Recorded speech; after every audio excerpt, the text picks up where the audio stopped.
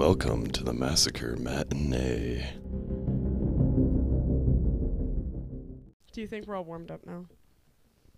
Are we ever actually warmed up? No, we're never prepared to start an episode, which is exactly why we're starting this episode like this. Welcome back to the matinee, Kate. Welcome back. So, it's my turn to do a case, Yeah.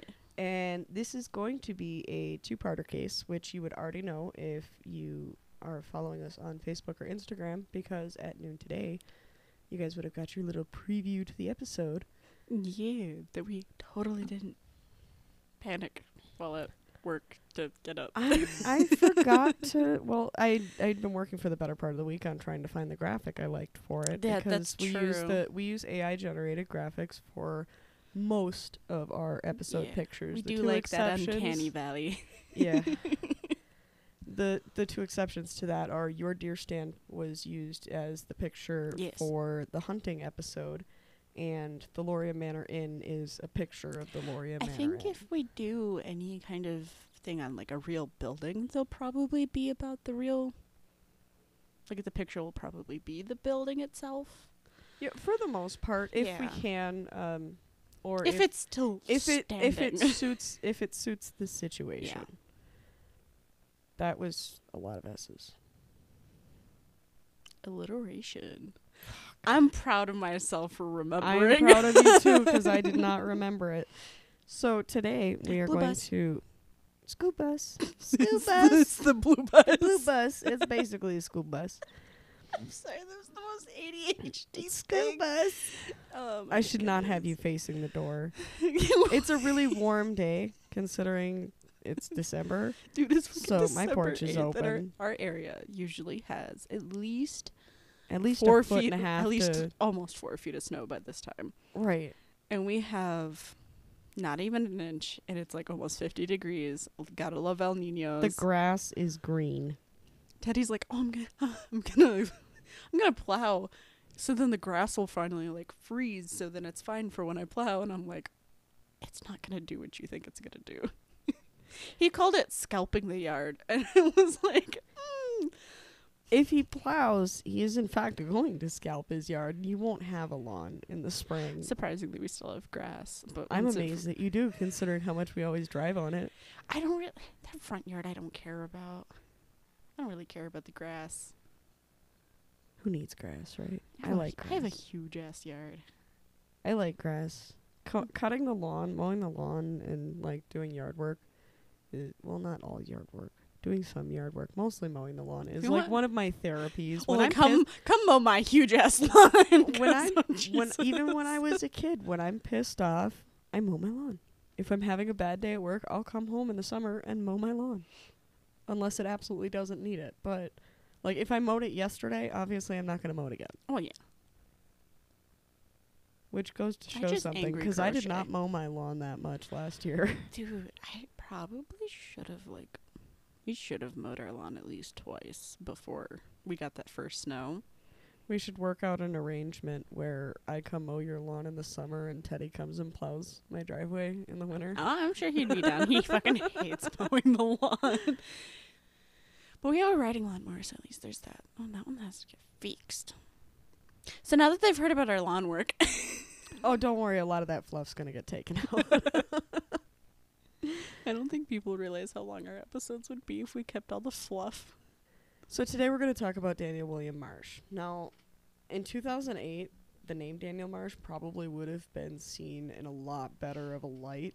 It would have been Mhm. actually associated with a hero in Yolo County, California, which is Mm-hmm. where this happened.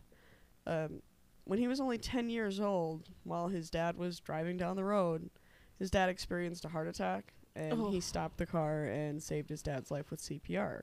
So he actually had gotten awarded. A lot of people at the time figured that Daniel was going to grow up and do amazing things, and the problem is they were all like dead fucking wrong. Like they couldn't have been more wrong. Um, he said, "Hold my fucking beard real fast." right. So 10 years old, Yeah. He saves his dad's life. And then shortly after that, his family went through a divorce. Like, really shortly Mhm. after he was in the limelight and everything, because his mom was in love with his female kindergarten teacher, yeah. his former kindergarten teacher. it was that affair and ultimately their resulting divorce that seemed to be the jumping off point for Daniel's mental health problems. He openly admitted that at like 11 years old, he was fantasizing of like slitting that teacher's throat for splitting up his family and Mm-hmm. It's interesting to me that he didn't blame his like he blamed his mom, but he didn't blame his mom as much as he blamed the teacher. right. Well, I mean, Like he put a lot of stuff on the teacher a lot of for breaking up the family. a lot of that I feel, and keep in mind we're not clinical psychologists or anything. We say that all the time too, in our opinion, or in my opinion. One of us is gonna get a fucking psychology degree at some point. At some point. But I feel like the stigma around that is probably more related to they wouldn't have left me if you didn't seduce them. So that's where that additional aggression I feel comes from. If I'm right, awesome. like, if I'm wrong, please fucking tell me. a weird level of trust that was broken with him because Right. it was someone that he also looked up to because it was his teacher and a kindergarten teacher is like real fucking important. Like I even remember my kindergarten teacher. I didn't go to kindergarten. I did preschool twice and then did went to kindergarten. How the fuck did you skip kindergarten? I, eh, maybe I did and I don't remember it, but that's the one teacher that I don't remember having. Well, you I don't believe I went to kindergarten. I remember first grade through everything else. I remember. I remember the. I remember the teachers' names. I don't remember a whole lot about those times, but I remember Well, the teachers' kindergarten names. is like you have to do kindergarten in order to go to first grade. So you probably did. Maybe things were different. I don't know. I don't I'll ask my mommy. Editing Ari here. I did actually go to kindergarten. I talked to my mom about it, and I guess what happened was we had moved two or three times just when I was in kindergarten, so I had switched schools a few times. So I guess that explains why I don't really remember it. By 11, he was seeing a therapist, and he was talking to the therapist about having those fantasies and dreams that he was having about killing and torturing I didn't people. realize you saw a therapist. That's fucking even crazier to me that he was getting See, help. this is why this is one of very few cases where I will give a lot of backstory on the killer is because there were so many opportunities that this could have been prevented. This is a Is this going to be a case where like professionals need more training than like what they were given to help people? And they could have like if they just would have known how to handle this kid right, in his therapy that this wouldn't have happened. right, oh my god. but also like people in general. I mean, there was more than just professionals that were like, "This is kind of fucked up," but didn't say anything. It definitely seemed like a lot of people in his life were like, mm, "You're, mm. Hey, Yeah. buddy." So the this is one of those professional like what situations.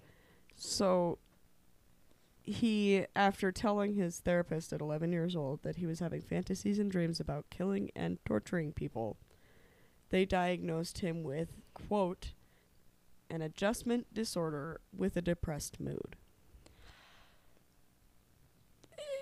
I mean, I can see it, but like at the same time, if you have a depressed mood, Keep in mind this is not that long ago. I mean, it's only well, it was it was this- 2008 when he saved his dad. So at 11 years old, it 2009.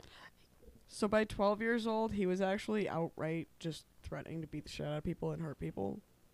Nobody said anything. So 12 years old. That's like That would have been 2010.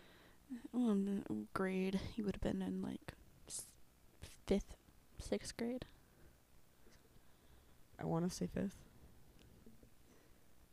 Well, depending on when his well, if his birthday is early in the in the year, he might I actually know, be I in write his sixth. birthday. He's not that important.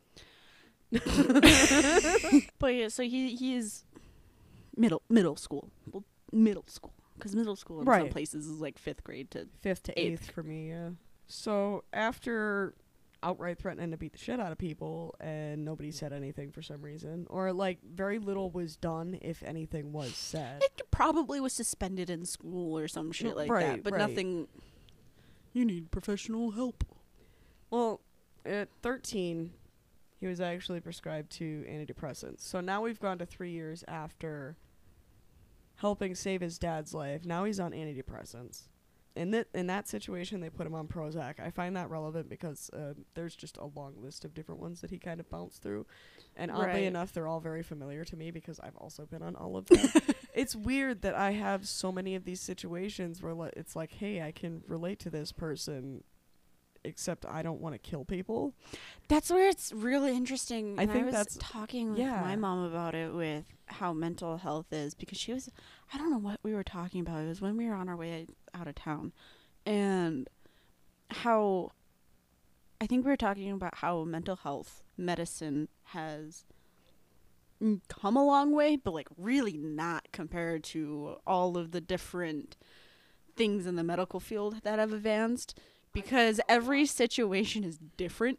I yeah, I think a lot more mental health issues have been identified, but the treatment for those things has advanced very little just Mhm. because and as weird as it sounds, scientific trials on people are difficult Yeah, because because like you said, everybody else reacts to it different. That's why on on medicine commercials on TV and on Mhm. YouTube and stuff like that, first of all, fucking hilarious that they all start off by saying, "Do not take if you are allergic to this."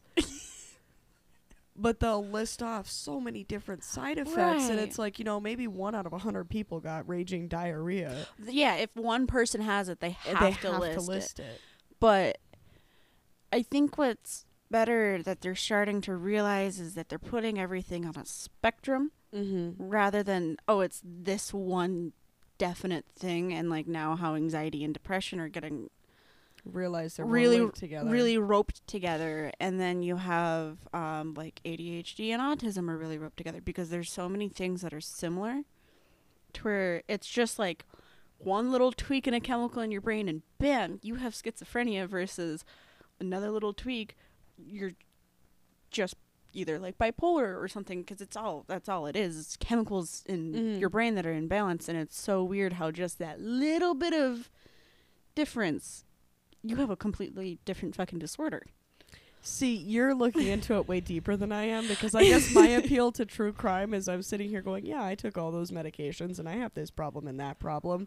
But I think my, I might be fucked up and my life might be crazy, but it ain't but you don't got that chemical Crazy. you don't have that little bit of a different chemical to make it be like i want to go stab people like I'd like to i think, think that's what it's I like. would like to think that even with that one little chemical saying, "Hey, we Mhm. should go like stab people," it all comes down to your ability to control yourself. Yes, I think it's also the ability to be like, okay, these are just intrusive thoughts, which everyone gets. Everyone gets those horrible fucking Mhm. thoughts where it's just like, You can't what if I punted this kid like in the face? like, Why did you have to go there? I was gonna say what happens if I drive on the other side of the road.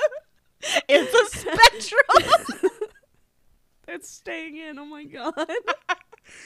but uh, intrusive thoughts are normal, and like you got the people that let them just go, eh, eh that was kind of weird. All right, back to my day, and then you get yeah, the ones that shake it, with it it. Yeah. and they're like oh my god i'm having these thoughts and like they go crazy and they think they're crazy and then that's the people that end up going like I just want to say on once them. again, we do not have psychology degrees. However, it looks like you're the one that's going to be getting one. however i have taken multiple classes you have, but that was child psychology. Although I guess it you had kind to take like actual psychology classes and i It had kind of actual compare- college credits it kind of compares a little bit. I mean, I guess he sort of was a child at the time. well the one that i wanted to get into was uh child crime so Child crime. like kids that Like kid- involved in crimes or Oh, okay. witnessed crimes and that kind of stuff Okay. In what was either a cry for help or maybe just a plea for attention, just wanting to be seen. At 13, while on Prozac, Daniel started regularly drinking and smoking weed and bouncing back and forth between living with his mom and living with his dad. oh so she he was getting fucked up He was- because he at 13, he was yeah. regularly just wasted and bouncing Right. back and forth between houses. a lot of things with these medications in case you've never been on them which is completely okay too a lot of the times they're like don't drink while on antidepressants because one drink feels like seven yes. So, And he was smoking weed on top of that. oh my god, By the time he was 14, he w- his dad was just like, "Don't come back to my house. I don't, get the fuck out. I don't want to fucking see you anymore." And somehow That'd his be so mother hard was on the dad. completely oblivious to him being drunk all the time. And he was 14. She probably wanted to turn a blind eye because she was already like seeing how much of a issue he was having. So she was just like, if I don't acknowledge it, maybe it'll go away. But he was regularly visiting doctors and things. So like Who's buying it for him? That's a good question. But in late 2011, he was actually hospitalized for a month, both for anorexia because he had dropped down to 93 pounds at 15 years old. He was high key too drunk to fucking eat. You'd think the weed would mellow that out, though. You would think, but I feel like if you get drunk enough, you're just like. well, the thing about the thing about especially He could have been eating but not keeping it down because how well, if you assume it possible, but if you assume it's beer, I mean, you drink a beer, you kind of feel full because it's empty calories. If he was wasted the whole time, he definitely was getting bottles of fucking like vodka. Oh my god, it was probably UV blue. Oh, that would have been the era. it was high key UV blue. It had to have been. He was hospitalized both for the anorexia, though, and because he was admitting to a school counselor about his homicidal fantasies. So that was the first person that was like, "Hey, we need to like check this kid out, see what's going on." Like fucking some school counselors are a blessing, and some of them are just some of Power worse. some of them are worse than they are good. yeah. Speaking from experience, during this time between when he started the antidepressants and when he was hospitalized for the anorexia and for Mhm. the admitting the homicidal fantasies, his medication switched around a lot. So he was on Celexa at one point. He was on Lexapro at one point, on Ew. Zoloft at one point, on Seroquel at one point, on Wellbutrin at one point, and on Abilify at one point. Seroquel is an interesting one because that's an antipsychotic. Yes, same for Abilify. But this, you know what's really fucking weird? They will uh give people Seroquel for sleep medication too. Anyways, so doctors at the facility that he was at for that month noticed Mhm. that he frequently had these like weird out of body experiences, which he actually talked about himself and kind of described it as like being in the third person. Well, he was on a fucking slew of medications. Not Like, all at the same time, but was- the medications he were on were heavy. you said he was on uh Celexa, right? Yes, I wonder if he also got fucking serotonin syndrome it's possible because, because, my mom was, was on Celexa and she got that. And he was on the the Lexapro as well, and the Lexapro is At a the same SSRI. time? Not at the same time. Okay, I was gonna say if that was at the same time, then like, yeah, he got fucking serotonin syndrome because I remember my mom was talking about having out of body experiences when she was having her serotonin syndrome. It's possible because he had started on the Prozac. I think he went to the Celexa shortly after that. Mm-hmm. So it would have been one of the older ones. It could have amplified the issues he was already having. Yeah, We're not psychologists.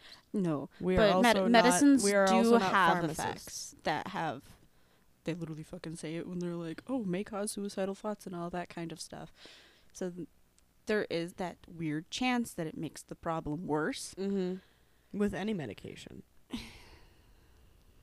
Especially when it comes to mental health medications, because like, like we were saying you know, a little bit ago, you know, the, it's all just the tiniest little chemical tweak, and nobody's got the same exact chemical schematic. Mhm. So you, you really got to find something that works. So following his release from that treatment in early 2013, he ended up going like right back again to his school counselor, and he's like, "Hey, so I'm having full confidence right now that I could just hurt people."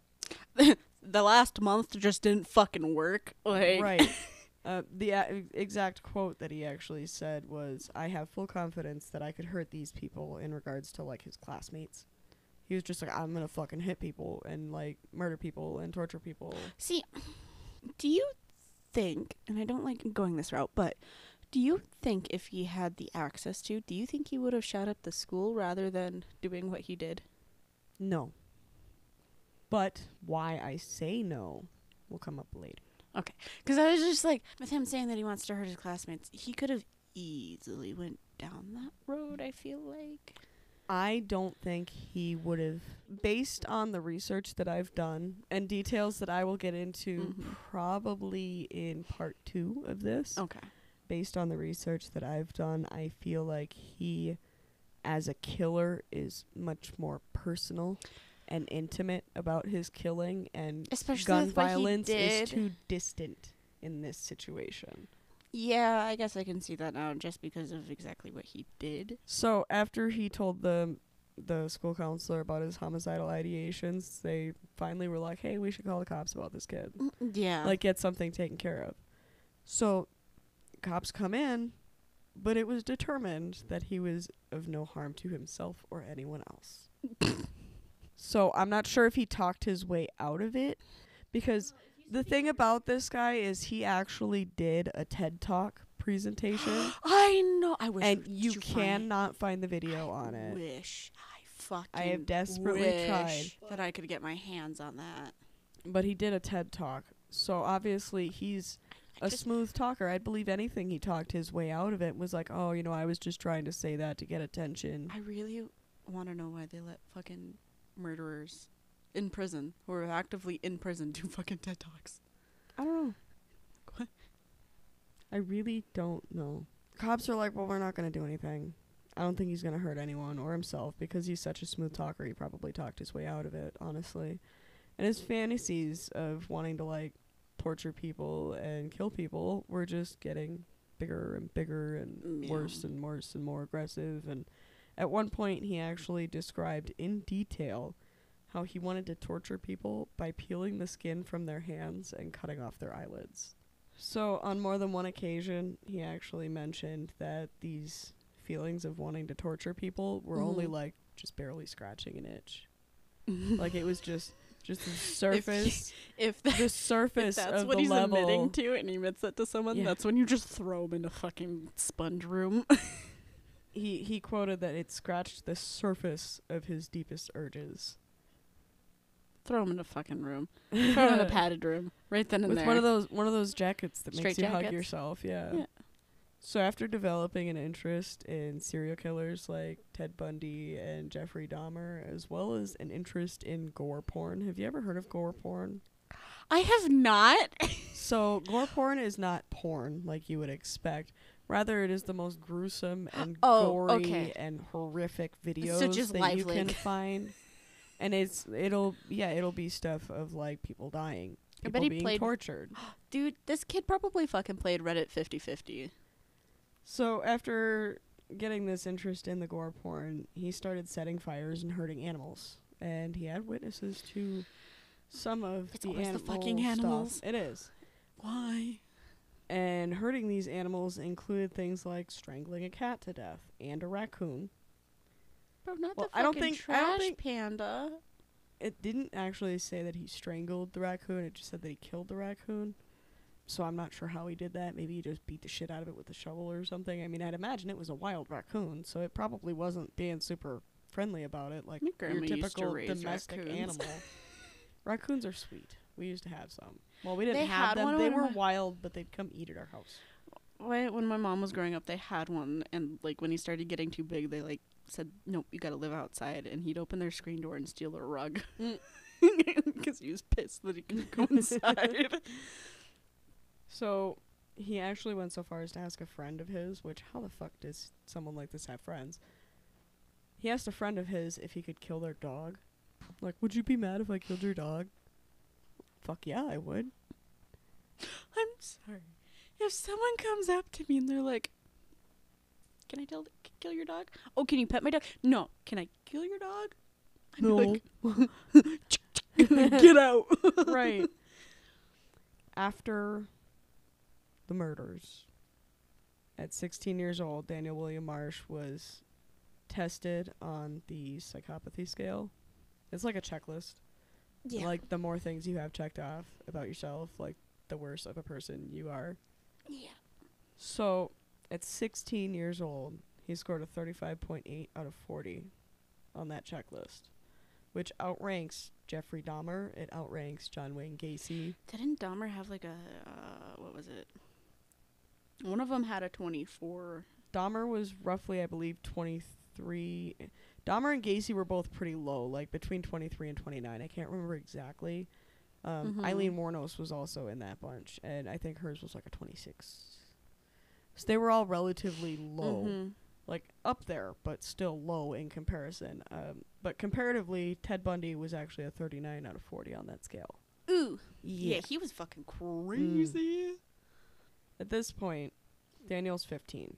Mm-hmm. Back up a little bit.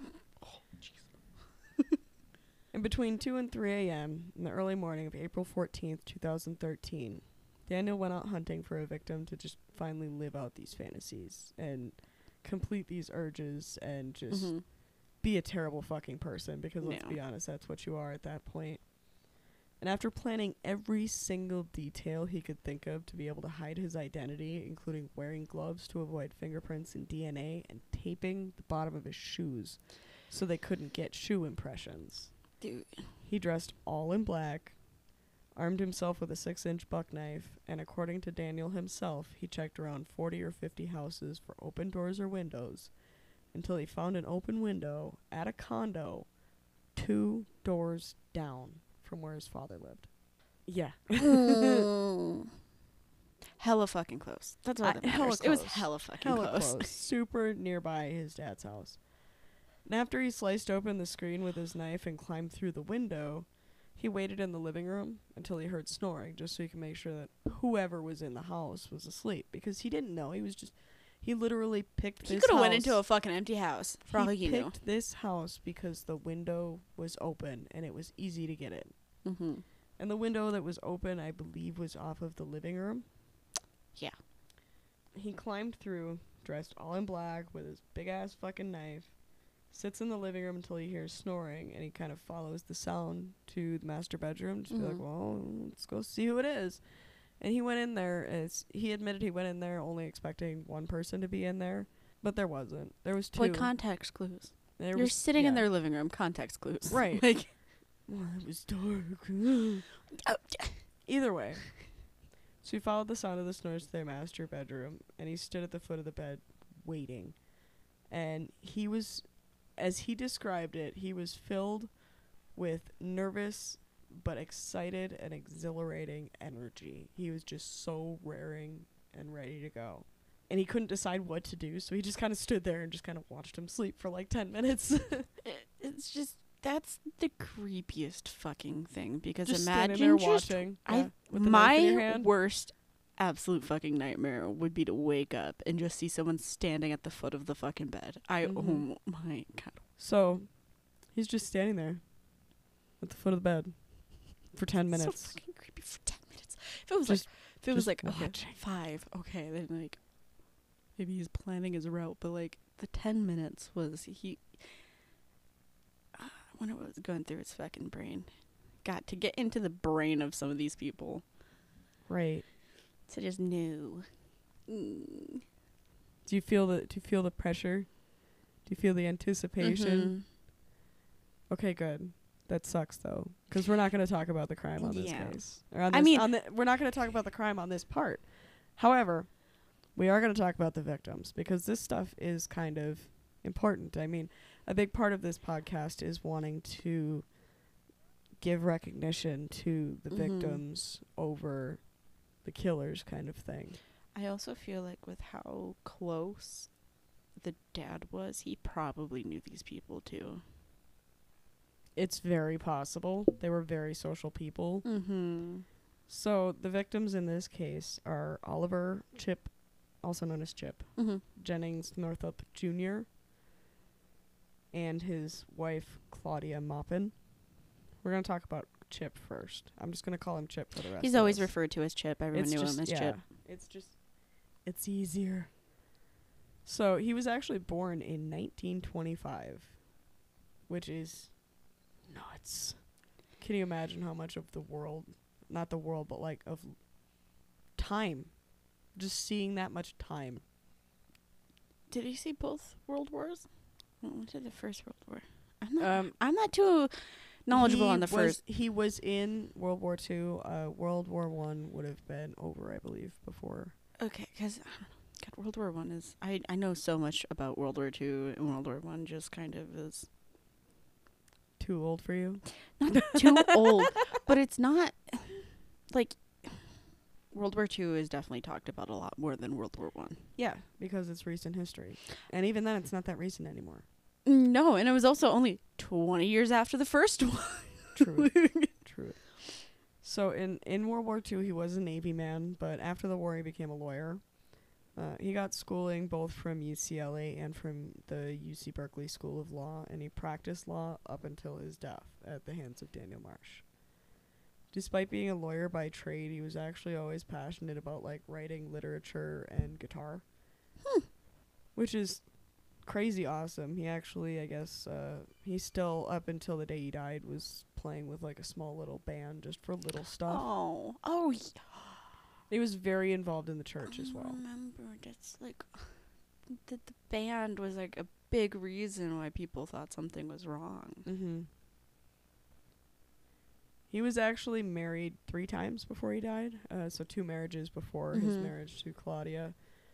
Both of his first marriages were actually pretty long lasting, and his first marriage ended pretty amicably. I'm not sure about the second one, but it was just it was a mutual thing for the first one that they split up, and they were actually still like regularly I think they were friends. keeping in touch and stuff like that. Well, yeah, because because he had um children with the second one, didn't Mhm. he? Yeah, I believe I I believe it was the second one that he had kids with, because it was he the the whole family structure just between the two of them is a lot. Yeah. But that's toward- what it towards the end of confused Chip's me. life, he was actually a well-respected member of the community and of Mhm. his church, um, and he actually met Claudia at church. She kind of like saw him I and was like, "I love the story of them because I think um I don't know if you caught it in the Explore with Us Mhm. episode, but the I think it was her daughter talking about it. And how, Yeah, it was. um she found him in the oh god what did she call it it was like the the the man order book or something like that and it was literally was- just like yeah, a It was a church pamphlet. yeah church like, pamphlet with all the in members church, yeah. she's like it's it was the, the the man book, the man book the man catalog. The I man think that's what catalog, yeah. and she just saw him and i think she she, she knew him before that but she was just like this one i'm Yeah. gonna marry this I'm one gonna marry this one. So Claudia Maureen Maupin was born in 1936. Unfortunately, you can't actually find as much about Claudia as you can about Chip. mm-hmm. Um, and actually, a lot of the information that I got on both of them was from their obituaries. yeah So, by all accounts, Claudia was very outgoing and optimistic. She was often just found by following the sound of her laughter because she was just always so happy, like one of those types. Like this could not have happened to two of the nicer nicer people. And a lot of people described her as like a wonderful hugger and a mom to anybody. Like you Mhm. need support, I got you, babe. Like a lot of the time it just seemed like she was just trying to live her best life Yeah. honestly, and just try and make the world more happy. So Chip and Claudia actually ended up getting married in 1996 after meeting at the church, and Claudia was an assistant to the pastor there, so like she kind of was like almost as she was involved in the church physically more. He was involved in the church financially more. Like he was always making a lot of donations to a lot of causes and things. But um, at the time of Chip's death, he was 87 and at the time of Claudia's death, she was 76. Um, Claudia's three children, so Claudia had three kids, Mhm. and Chip had six children of his own and two stepchildren. yeah i think one of the wives passed away Yeah, the stepchildren were from a previous marriage, and he kept in contact with them, and I think Mhm. it's because she had passed away.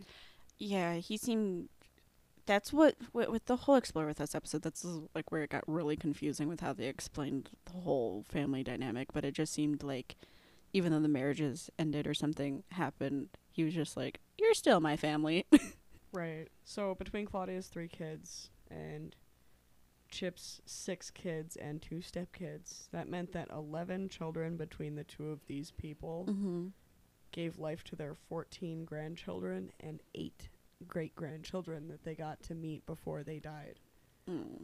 And this just the fact that this whole thing happened to two of the nicest people, like I really wish I could actually find out more on Chip and Claudia just because like we always Right. keep saying, the victims deserve a lot more recognition than their killers. And you can find so much on Daniel's history, Mhm. but like nothing. I feel like if you want to know exactly people. how good these people were, watch the Explore with Us um, episode because he They do talk to the family. gets that the team family. is very thorough and Mm-hmm. they make leaps and bounds in a way that we cannot make leaps and bounds because it might be a little bit awkward if I start calling strangers.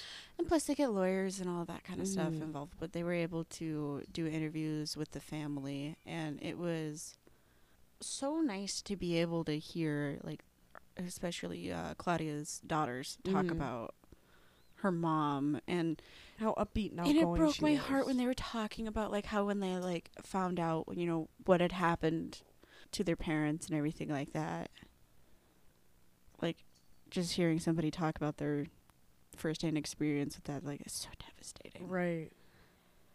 So honestly, this, I mean, ob- obviously, I've said already that it, it is a murder, and Mhm. that Daniel does kill Chip and Claudia. Um, details in part two, but it could not have happened in a worse way to the nicest people, Ugh. and it could not have been. like why do the nicest people gruesome. get the most fucking brutal murders like Right. it actually makes me so sad So the question that I'm going to leave everybody with at the end of this one today is what do you think would have made a difference in Daniel's past that maybe could have helped? I mean, you mentioned that maybe if he did end up with serotonin syndrome Mhm. after the Celexa that may- maybe if maybe if that was the case they could have done something right personally i think if his mom never had an affair i think that was the Well, that broke his trust and I like, think the outlook I on think life that's that it- actually a really good point. Yeah, because that that, was, was like just- a real turning point for Mhm. him, and it was such a, a vulnerable time Like, in his life. going from this real high of getting you're you're being praised, you're being told how much of a hero you are because you saved your father, and like you know you thinking, okay, well maybe like mom and dad were having issues, but like I saved him, they're gonna be fine, and then like not even a year or two later, she's off running off with his teacher. right. That had to be like him thinking he one wasn't enough for her to want to stay and everything Right. like that, and then to thinking like, but I did this and that's not enough. So him going like, I helped this person, but I still got the shit end of the stick. Mhm. I'm not gonna fucking do that anymore. So I think it was that real high point Okay. to the absolute fucking lowest in such a small time frame that it just really just fucked with his brain because he could have had these i am one to believe that you are not born to be destined to be a murderer but you may be born with the things that could point you in that direction Okay. because obviously like your brain can develop things like there's people who didn't have any mental issues when they were younger but then when they're older they develop those That's actually a, a really, really good point, and that makes me think back to the Ed Kemper stuff in a way. Oh like yeah, if he had been raised nurture versus nature. Like it yeah. is a huge fucking debate, and it's just it's a combination of both. I'm um, I'm big on nurture is a huge part of why these people do what they do. Right. But then you get people like Bundy, who that is just nature. He Rico Suave and still killing bitches. like he had a pretty decent childhood and whatnot, and he became one of the fucking worst ones. So it's a weird balance. It's kind of crazy though. So, quick little preview to the end of the year. We've only got a couple episodes left after this one. Um, yes. next week's episode is going to be the finishing up for this Daniel Marsh case. Mhm. Um, we're going to talk details about the murder and the trial for that one. Um, and then we have a regularly scheduled case that will be released on Christmas Day. Merry Christmas to you guys. How fucking Yeah. convenient.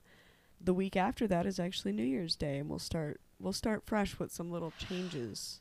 Just little ones. Do I announce what case is going to be their Christmas present, or is it going to be a surprise? You know, I was listening back to our older episodes earlier today, and I think Mhm. that's the case you're talking about. Yeah. Is the one that you mentioned that you were gonna do. So why don't we tell the people? So, and it's kind of convenient that's coming out on Christmas Day because Christmas Day is three days before this person gets released from prison. Oh, She gets out the 28th. okay. We're doing fucking Gypsy Rose, people. I have a lots of feelings about the whole Gypsy Rose case. I have followed this case for years and years, like when it first happened Mhm. and all this, because it happened back in 2015. She only did eight years. Super excited for that. It's gonna be great. And it's one of those cases where obviously you guys have known because obviously there was that big Hulu series that came out on it. I can't remember the fucking name of it, but it was good. I can't remember the name of it, and I didn't actually get around to watching it yet. So I'm gonna let shy. I'm gonna let the details of the Gypsy Rose case surprise me. Yeah. There's a lot of stuff. I know of the Gypsy Rose case, and I know Mhm. that it was a Munchausen case syndrome situation, but I don't know details. I'm curious, so So thank you for listening. That was the episode on Daniel Marsh. Daniel Marsh. Uh, part two Part coming two out next coming out week. That's gonna have Yeah. the the murder and the trial details. Be forewarned for that. It's gonna be crazy. Pretty gruesome. I'm going Yeah. to go a lot more in detail because I feel like in this particular situation, showing the detail is the only way that I have left to honor the victims because there's just so little about them Yeah. that we can find. Just mentally be prepared. That's all I can say. Mm. So we will see you next, next week, week. for Part part two. two. Ooh, jinx. Bye.